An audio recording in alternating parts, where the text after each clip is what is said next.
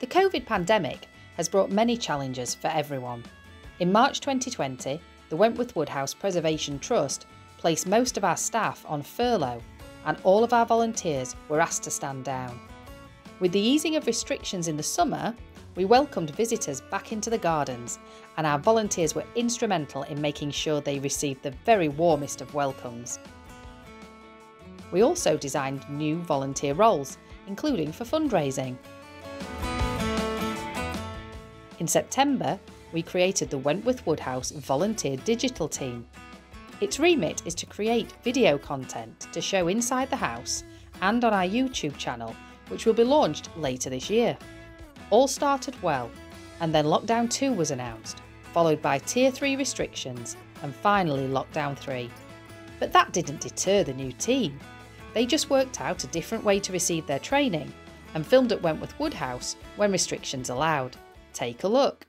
Hope you're all ready for today. This is this says this is video 101.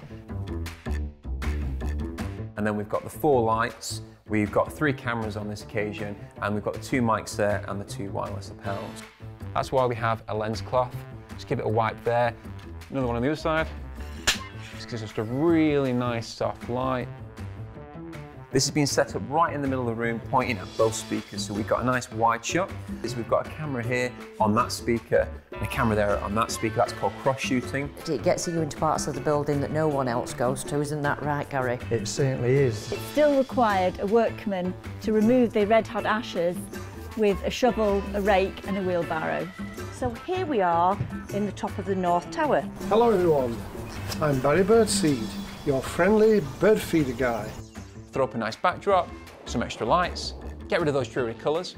Now let's add a bit of colour correction, throw in some subtitles and some music, and we're ready to go.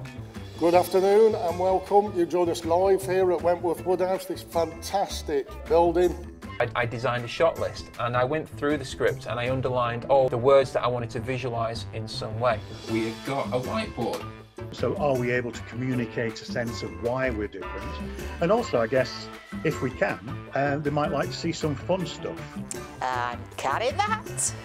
Today, the Long Gallery is a popular choice for both weddings and events. Well, farewell, and hopefully we'll see you uh, later in November for, for more updates and uh, more challenges.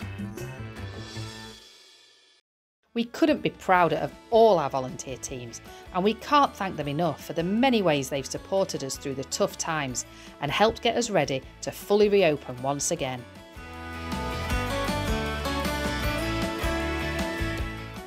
Wentworth Woodhouse. We got locked down, but we got up again.